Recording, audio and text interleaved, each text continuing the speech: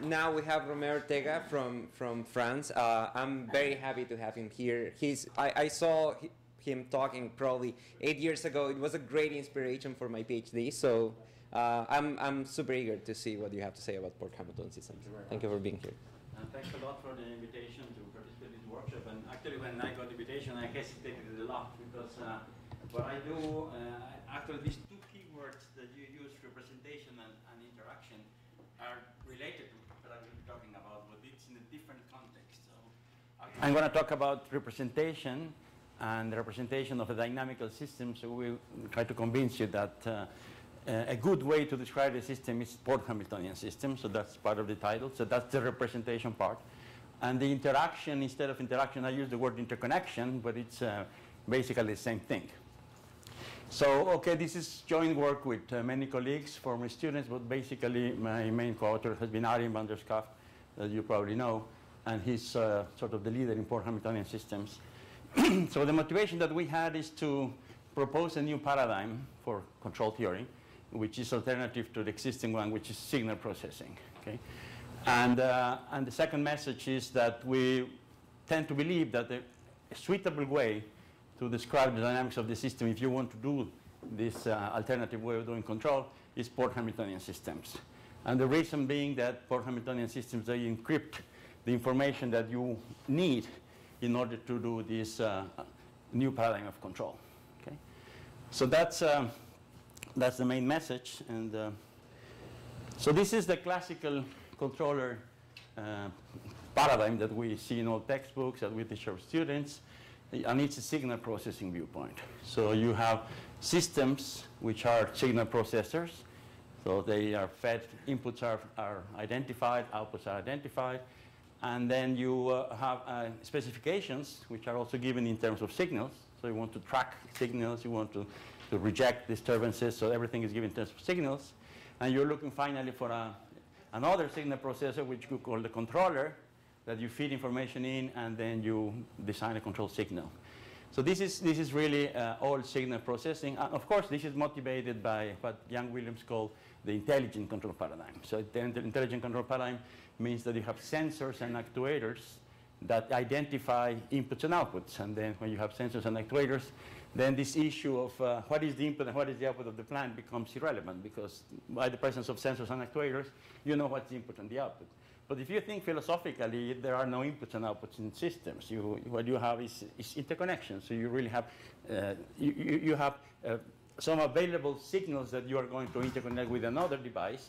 And dep- depending on, on considerations like impedance or, or uh, power or so on, one becomes the input, one becomes the output. So you think of the classical outlet, you have the voltage and the current. So which one is the input, which one is the output? Well, it depends on what you, what you connect to it. So, so sensors and actuators make this obvious, that you have a causality relationship between inputs and outputs, but not in all applications is a good idea to think like that. So the, the, really the message is that, uh, okay, this is a very rich paradigm and ha- we have a lot of uh, successes and so on, but probably for some problems, for some new problems, we have to think a little bit differently, okay? And that's the, the, the idea of passivity-based control, and that's a generic name that is used for, for this kind of controllers, where you adopt a different viewpoint, not signal processing, but energy processing or mass processing of entropy processing. I use energy as the generic word, but the idea is to think of the plant not as a, a signal transformation device, but as an energy transformation device. So the, the, the dynamics of the system transforms the energy from one form to the other, or dissipates energy. And then, and then what you want to do is to well, first of all, this theory is, is developed for, not for general mathematical systems, but basically for physical systems. And for physical systems, anyone has a pointer? Uh, no? Okay. I can. Yeah, one. I'm sorry, I'm so used to using pointers. That one. Okay, Just press the second button. person. Yeah, thank you. And so, as I said, we're interested in physical systems, and in physical systems, you, you usually satisfy a relationship like this. So you have uh, energy balance or power balance. So the stored energy is equal to supplied energy plus the dissipation. So we're interested in developing a theory for this class of systems. And how do you formulate this problem? Well, you want to preserve this property for your system after you do control. But you want to modify these three words. So instead of having a stored energy, you might add the qualifier a desired stored energy. You want to change the energy function, so you have now a new energy function. And you might also want to add uh, dissipation or remove dissipation. So you want to preserve this uh, equation after control. So for your control system, you want this to be, to be satisfied, but with a new energy function, with a new dissipation, with a new supply function. So this is, this is the key for passivity-based control. This is the idea. So passivity-based control essentially consists of two steps, changing the energy function and changing the, the, dissipation structure, the damping structure. And there are basically two possible formulations to do this. One is the standard, what we call standard passivity-based control, where you think in terms of inputs and outputs, and you want to design state feedback, so the classical way. And the other one, which is the one I want to try to, to explain you now, is control by interconnection. So you don't make distinctions between inputs and outputs, and you think of controllers as another dynamical system that you interconnect with your system. And it's via, th through this interconnection that you change the behavior of the system. Okay?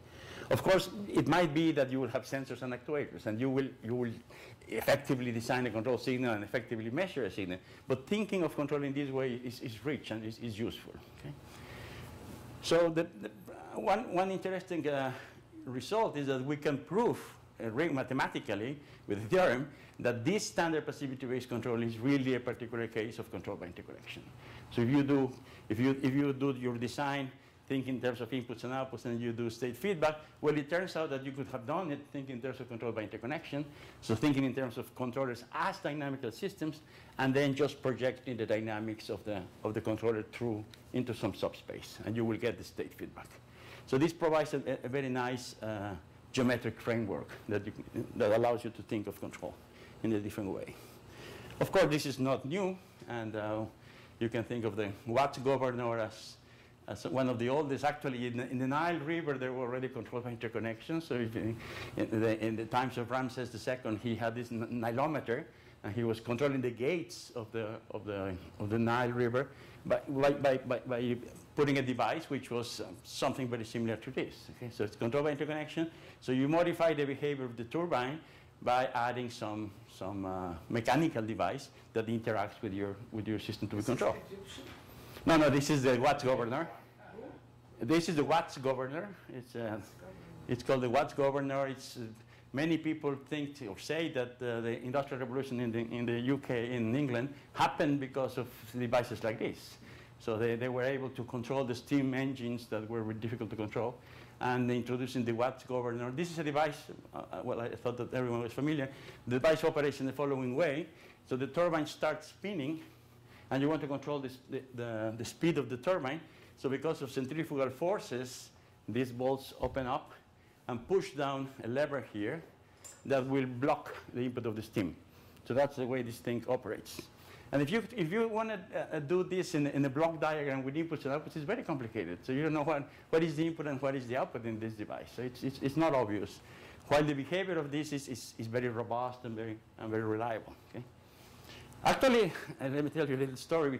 Uh, this uh, research started about 20 years ago, and uh, we have had a long-time collaboration with Peugeot, the French uh, company, sending students, postdocs, myself, spending months over there.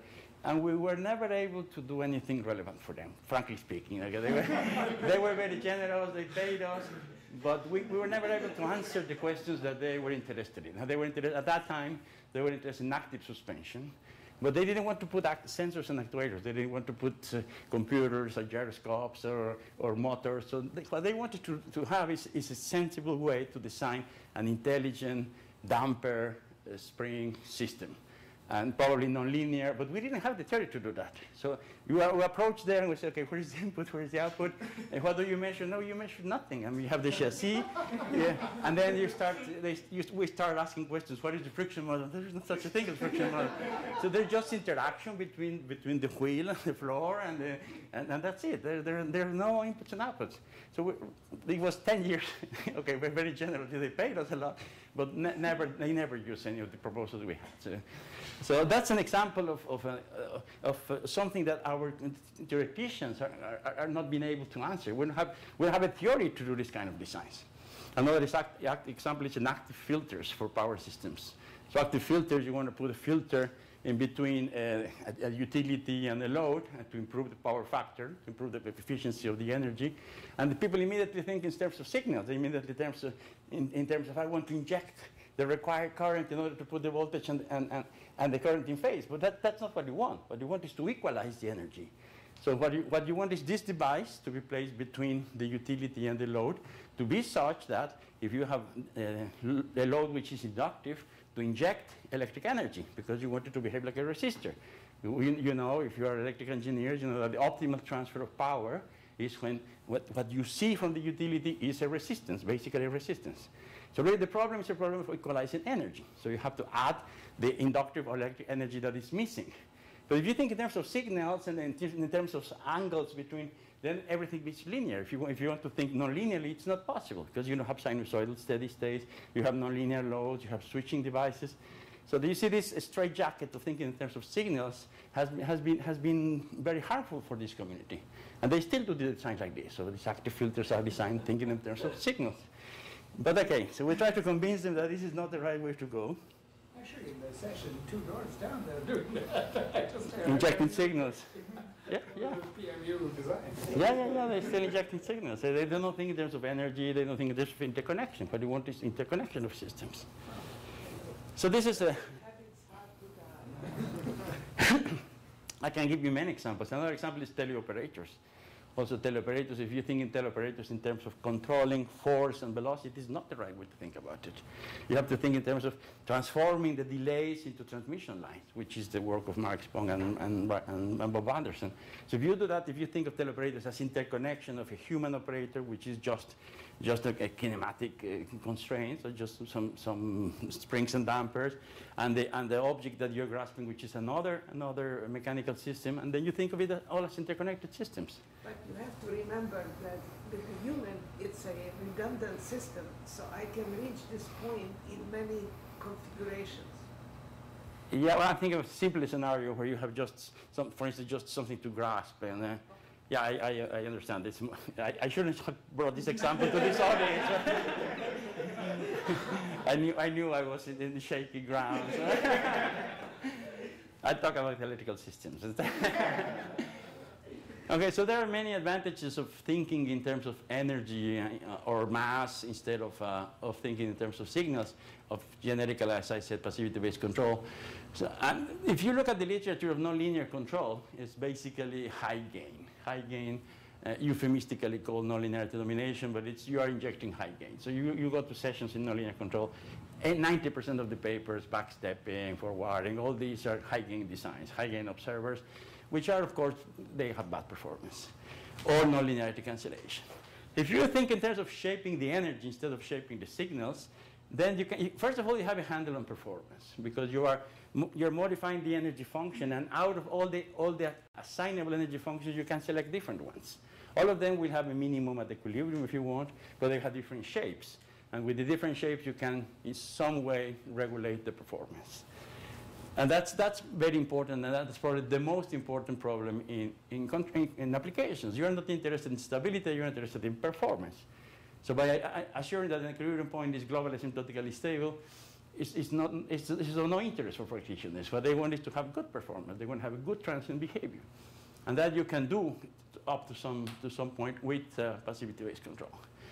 Now, with passivity-based control, you start with a physical model, you, start, you respect the structure of the system, and you can incorporate uh, physical knowledge. Because if you think of your controller as another physical device, now these tuning knobs that you have to select are going to be dampers, springs, capacitances, and so on. And then you have some intuition on what is the effect of these tuning knobs on the overall behavior. Well, if you just run a model predictive control and generate 100 lines of code, uh, you don't know. You have a lot of parameters that you don't know how to select. They have no, no intuition how to do it. You just change, change the horizon, change the weights of your controller. But that, that is, is, is really trial, trial and error. There's no, no guidelines to do these things. This is one of the big stumbling blocks of this theory. And in, my personal experience, uh, I collaborate with people who are practitioners or, or who work in different uh, fields which are not control guys, for instance, power guys or mechanical engineers. And the way to communicate with them which is a, a real lingua franca, is talking about energy. Talking about energy, talking about power, talking about dissipation, then we understand each other. If you go and talk about Lie brackets and this, well, they, they, they, the, for they know, but they don't care. They, they, they, what, they want, what they are interested in is, is in, in achieving performance, in achieving performance, not in doing fancy mathematics.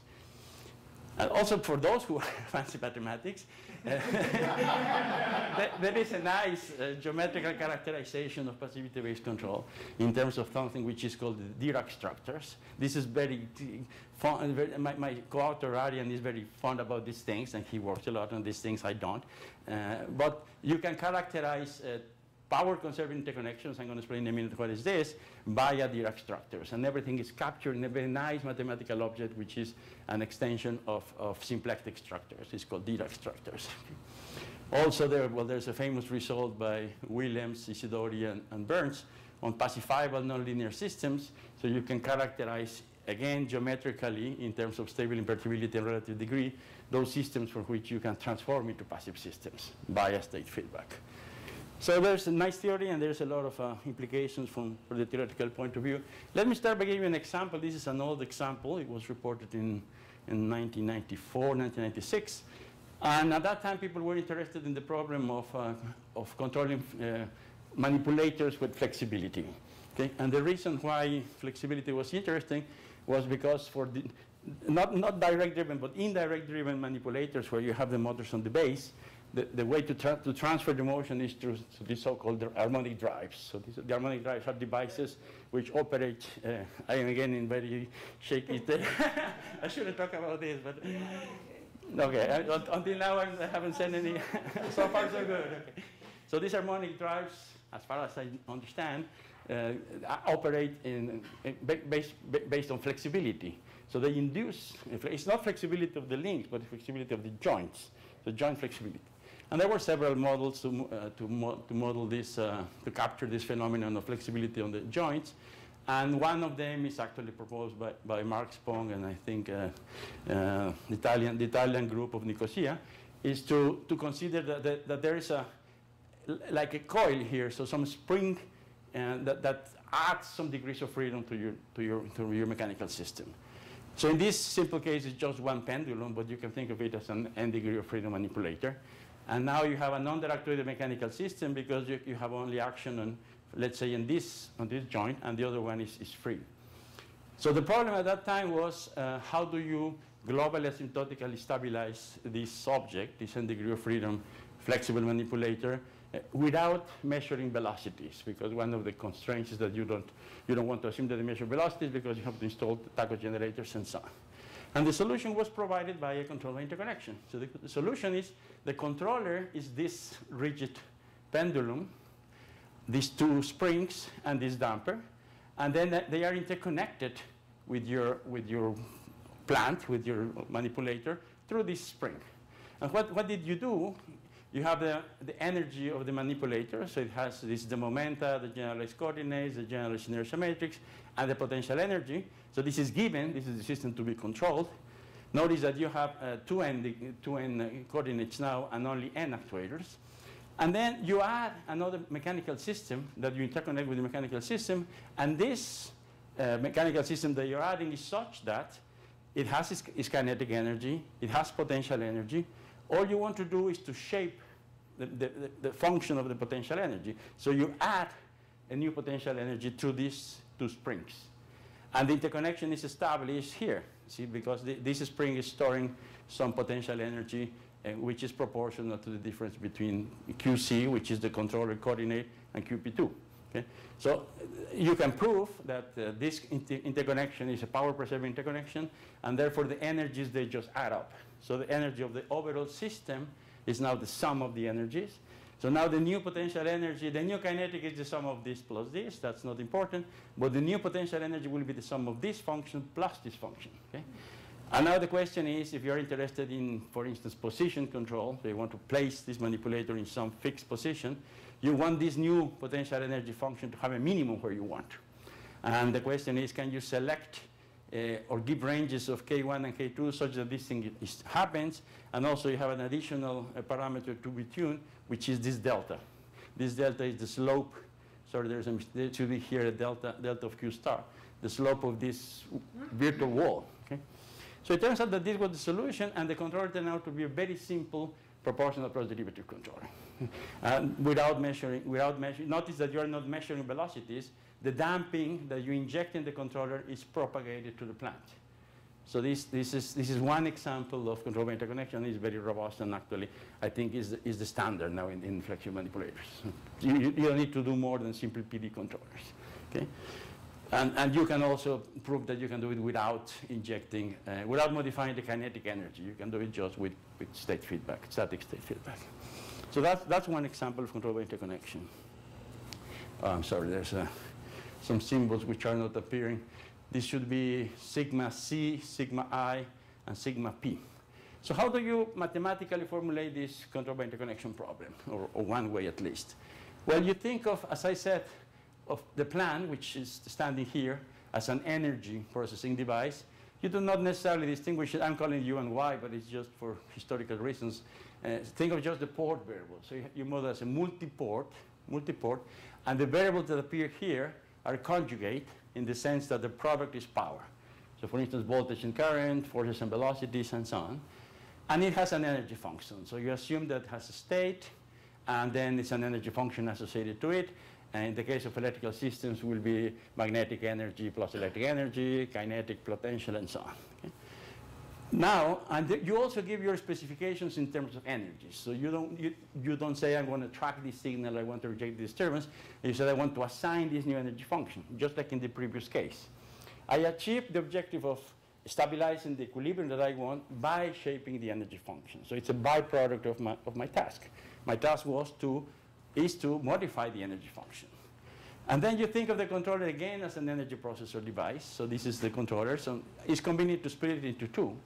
The controller that is, that is providing the energy that you might need and the interconnection. So this is another part of the controller, which we call the interconnection uh, part. So there's sigma C and sigma I. So sigma C has also its port variables, which might be, again, have to be conjugated in the sense that they have power, and its state. So think of it, you have an electrical circuit, and you have another electrical circuit, and you're going to interconnect. So you want to control this electrical circuit by connecting with another electrical system. And uh, this interconnection, the only thing that you require for the interconnection is that it's power preserving. And power preserving means that the power that you have here is equal to the power that you have there. So this, this identity should hold true. Okay? Remember, uh, we assume that these variables are conjugate in the sense that the product is power. Okay? So what is this uh, interconnection system? It's just a lossless device. You don't want to add any losses, so you are just interconnecting. The easiest way is just to do the, the cables like this, which correspond to negative feedback interconnection. Okay? But it turns out that you can think of something else, and actually, in order to solve the problem of interconnection, uh, here you have to put something more sophisticated than just negative feedback interconnections. So you, you, we're going to make this guy state dependent and sometimes even dynamic, but a lossless device. Okay? So what happens? Well, it's, it's easy to see that uh, the energy of the overall system is now the sum of the energy of the plant and the energy of the controller that you selected yourself. But here, here starts the problem because what you want to do is to shape the energy of this guy. So let, let's say for simplicity, I want to assign a minimum to this energy function in some point x star. But I cannot do it by just adding energy that lives in a different space. So then, then how, how do you do in order to couple these two energy functions? Okay? So the way that we proposed, I- I'm going to uh, present it in an in a informal way first, and then the formal way, is to generate invariant manifolds. So in, in the extended space, now you have here the state of the plant, the state of the controller. If you manage to generate surfaces where the trajectory leaves, and, and so they are called invariant manifolds, you're going to live in this manifold, you start in this manifold, you remain in the manifold all the time. Then the system lives in some subspace that we can characterize, let's say, with a function. okay? So if I make this function invariant, and the system lives in there all the time.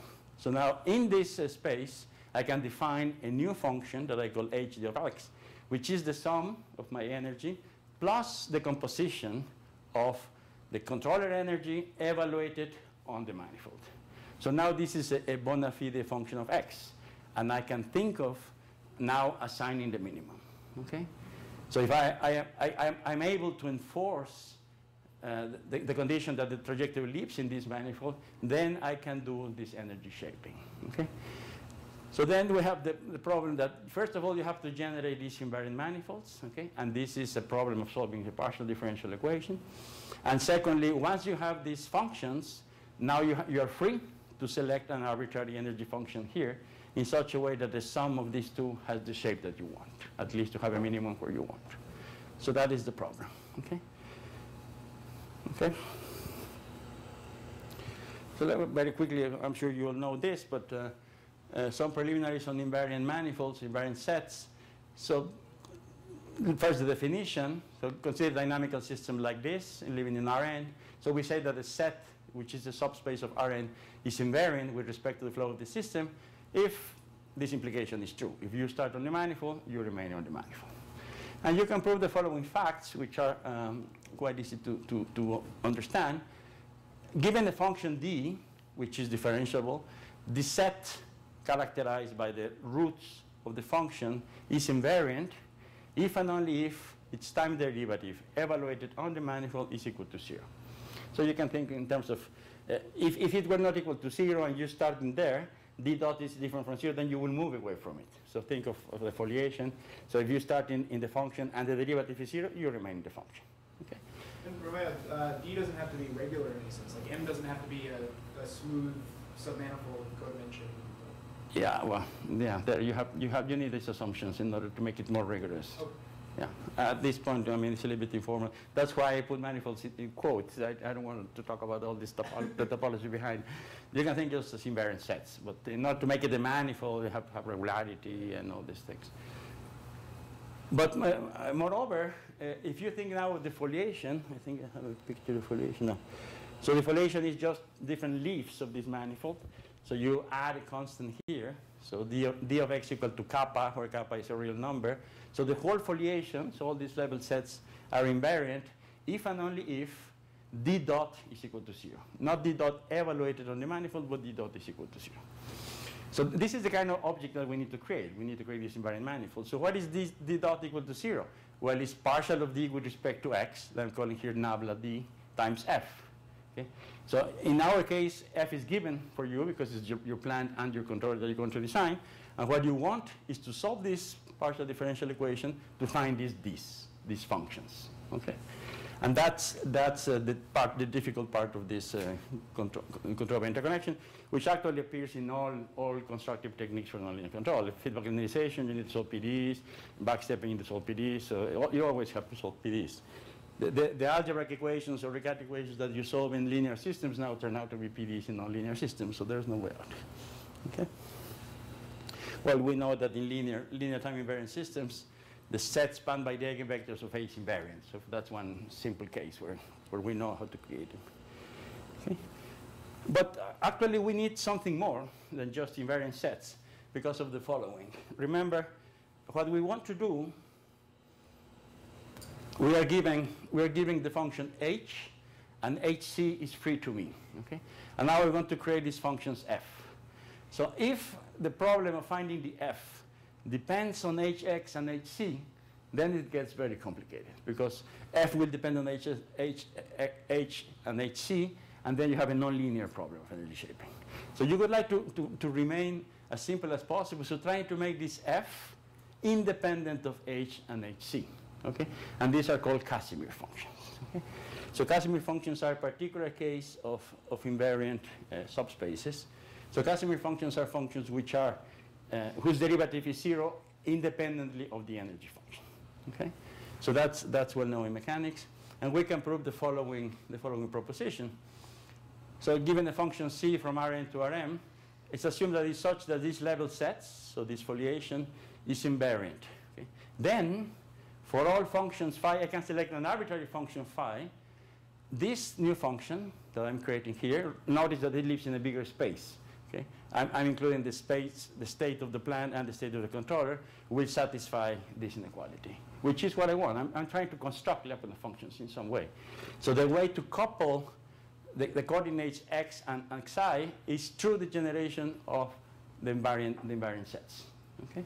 So now, now, once I have this, Once I have this, now I can think of assigning a minimum to W and then invoke Lyapunov theorem and LaSalle's theorem and so on. So, so that's, that's the idea. So uh, given C, you have to select HC and phi in such a way that W has, has the shape that you want. Okay. Now, uh, C is obtained, as I said, solving a partial differential equation. And, and that's the reason why we, we go to Casimir functions. Okay? Now, it's, it is at this point that the use of port Hamiltonian systems is, is, is convenient.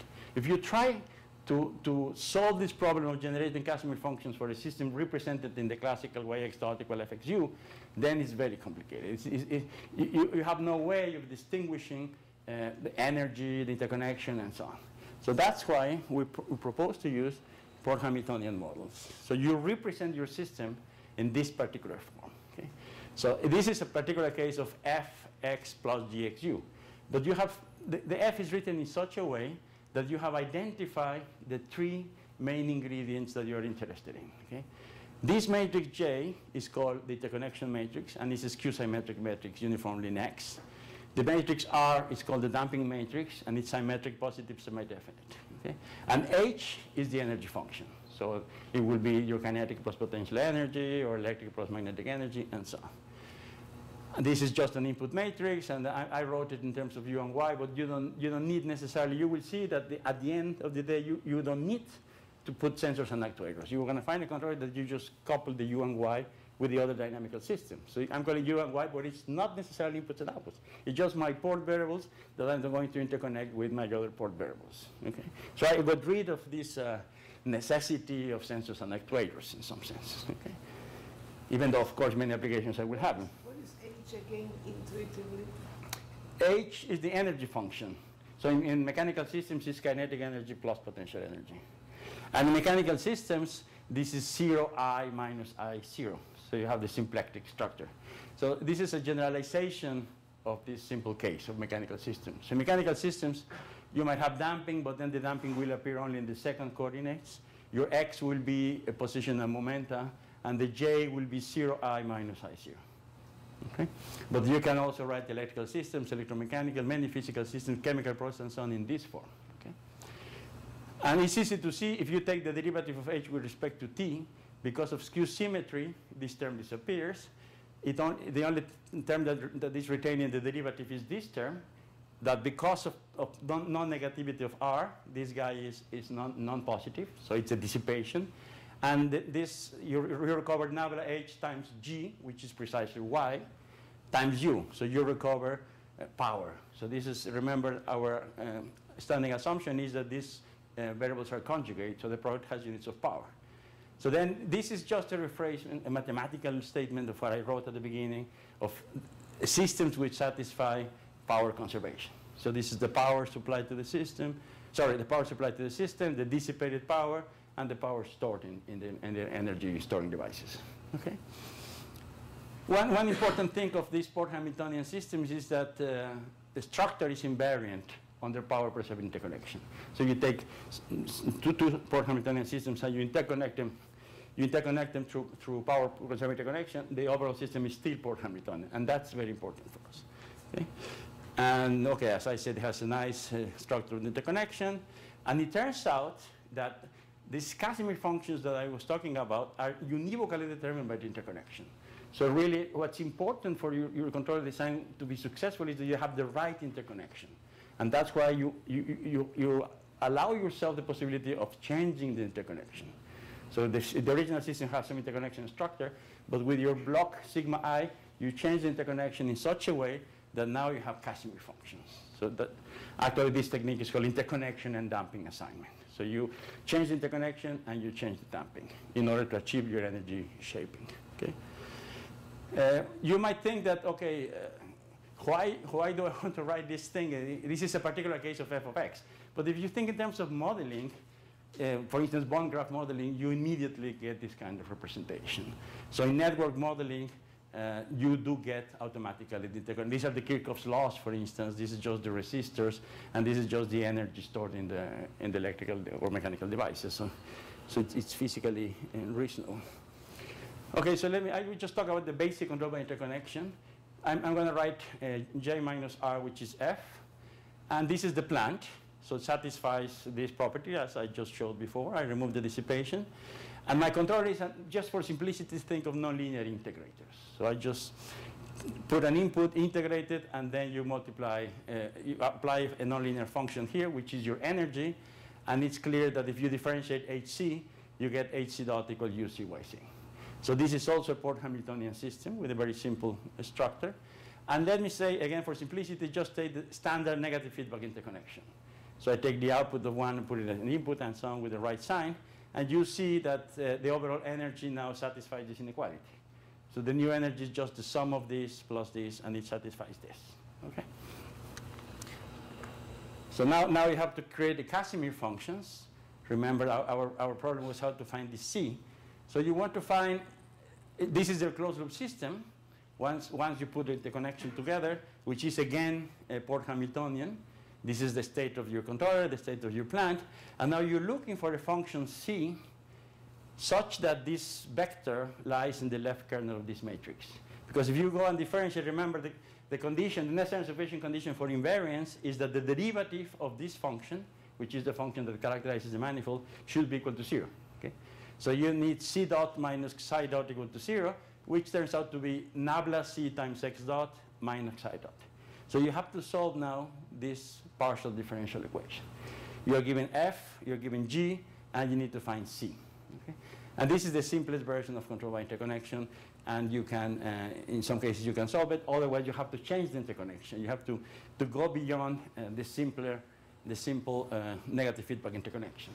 So, so in these uh, Casimir constructions, always you will end up with these uh, kinds of PDEs. So you, you said the Casimirs are well defined. So how do you know that there is a solution to this? Uh, or you say you try it out, and if it doesn't, then you change it. Well, you can always check Frobenius theorem that gives you conditions. But if, if, you, if, you, if you cannot, or you cannot find the right one, because it also has to be a right one, then you want to change the interconnection or change the damping. And then you will get another, another the matrix here. you had on the previous slide is there's always a Casimir. that you can- Uh, So n- if you take these port Hamiltonians, you can all, is that what you're saying? That's- no, no, there's not always a Casimir. No, there's not always. These PDs might not have a solution. This, if, this, if this matrix is full rank, there is no, no Casimir. So, so it, it's really a rank deficiency property of this matrix, the existence of the. So you have to make this rank deficient with a suitable choice. Here, we, I didn't have any degrees of freedom. Yeah, well, no, the F and the G are given. So this is, uh, I don't have any, any freedom here. This is a very restrictive case. But in the cases that we have explored later on, you add some matrices here through the interconnection, and then you induce a kernel to this matrix. And then you can solve. Oh, I see the zero you can fix, here zero you can change. Yeah, and you can change also the F and the G by taking another output. Instead of taking the output G transpose A, you take another output, and then, and then you will have another matrix here standing here. Okay? That, that's the, I, I don't have time to go through that, but this is just the very basic, which is very restrictive, this, this case. Okay? Basically, it's only solvable for mechanical systems. If you go to electrical systems, we have something which is called the uh, uh, dissipation obstacle. You can prove that this PDE does not have a solution if you have resistors which are dissipating energy at the equilibrium, which is called pervasive dissipation. So if you take, for instance, a series RLC circuit, that's okay. But if you take a parallel RLC circuit, you are in trouble. You, you can prove that you cannot solve the PD. So there is a connection between solvability of the PD and the dissipation structure of the system. Okay. Okay, so now then, I think it's my last slide. Uh, we can actually prove that control by interconnection contains a state feedback PBC. So in the state feedback PBC, you take the classical approach U and Y, and then you try to find a state feedback. You want to try a controller such that the new system, after you do the feedback, will have an, another energy function. Okay? But it turns out that uh, if the controller interconnection PD has a solution, then you can select any HC and, and compute this, this object here, and this turns out to be a static state feedback that will do the energy shaping for you. Okay? So what is this? It's just, remember the control interconnection is another dynamical system that has its dynamics. But if you project these dynamics into the manifold that you created, which is what you're doing when you, when you evaluate this, you evaluate the function only on the manifold, Then you recover a static controller, which turns out to be the static state feedback passivity-based controller. And you can, you can generalize this theorem to other variations of passivity-based control. So it's always possible to prove that uh, by restricting your control interconnection to, to, to the manifolds that you created, you recover static state feedback, which is standard passivity-based control. Okay? So now we have a richer framework, and we, I think it's more, more uh, alluring in some sense to think of control as interconnecting dynamical systems instead of feeding back signals and measuring and feeding back signals. So that's why I thought that this uh, kind of talk might be interesting for you. I, I'm through. Okay.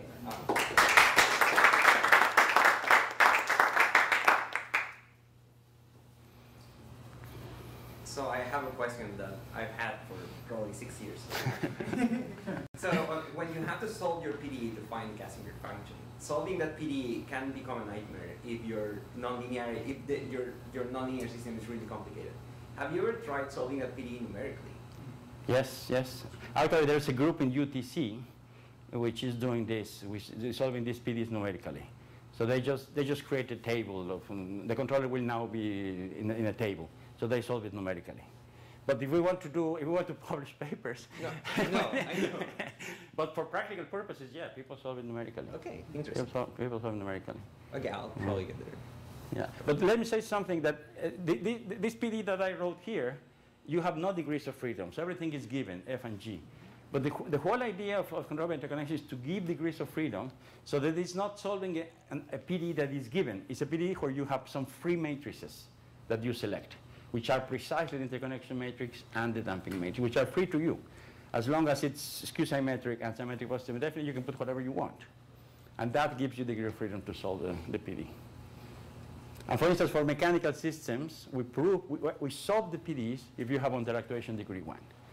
So we, we prove that you can solve these corresponding PDs for mechanical systems explicitly with formulas for underactuation degree one.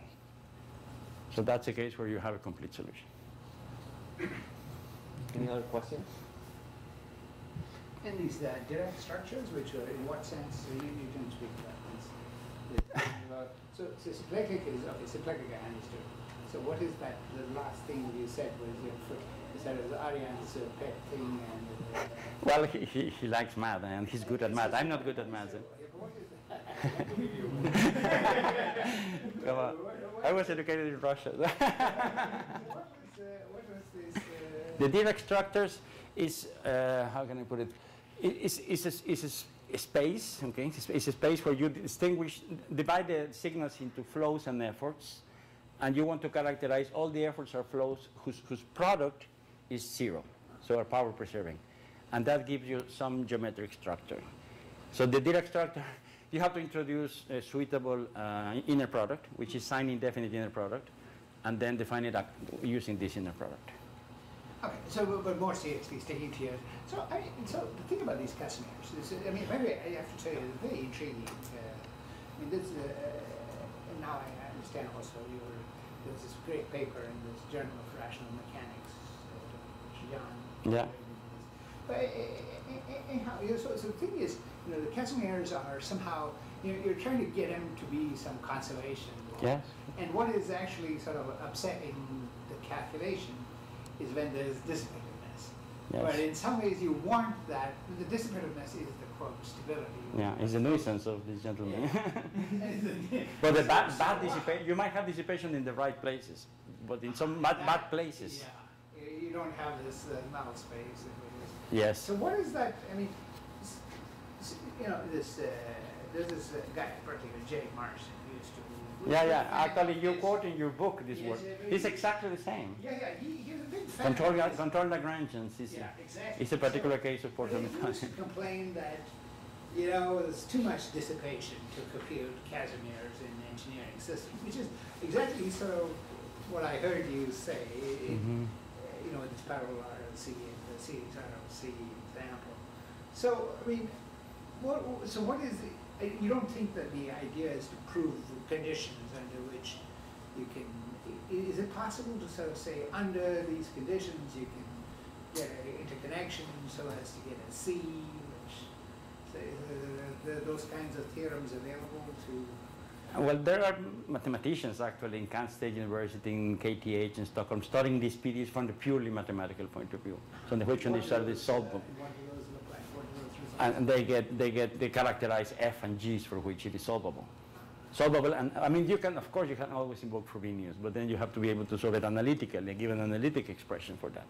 So there, there are results like that. I, I just mentioned our result for mechanical systems. So if it's under actuation degree one, mechanical system, then we can explicitly solve the PDEs. So that, that's also, and for electrical machines, we can also solve the PDEs for generalized electrical machines. So the, the, because it's, as I said, we have degrees of freedom. It's, this is a PD which is parameterized in terms of functions that are free to you, which is precisely modifying the damping and the interconnection. So by doing that, you, you can solve the PDEs. Yeah, yeah. Okay, Okay, we're going to. okay, thank you.